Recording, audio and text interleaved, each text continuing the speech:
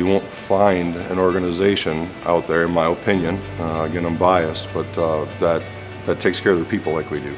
If you get to a point or see an opportunity where, hey, I want to be an operator of a piece of equipment or I want to be uh, in the manufacturing space, building as an electrician or a welder or assembler, uh, and that's where you want to be in life, you can do that.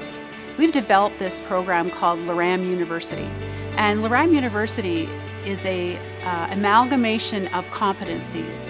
So this is where you come as an employee, as a department, as a leader to say, you know, I want to expand the development or the competencies of my team, of myself. Where do I begin? You do not have to be the absolute expert in a certain field.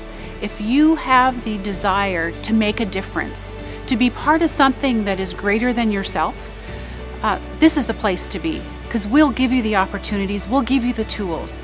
We can teach you that. It's a company with great opportunities and benefits.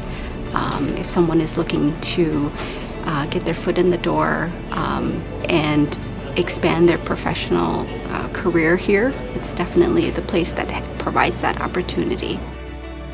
Aside from the fact that we have some pretty cool machines, and the stuff that, you know, the machines that we develop and build here are phenomenal.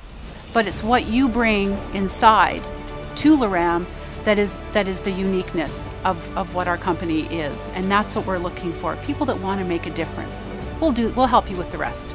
The support that happens behind the scenes, especially coming out of our human resource team and our management style and strategies, is incredible, and that, that speaks to the culture. My goals here are to, to, to ensure that the culture that we have remains that positive culture. And regardless of how big we get, let's make sure, right, that everybody is kind of, you know, feeling the same way that I did when I first came here.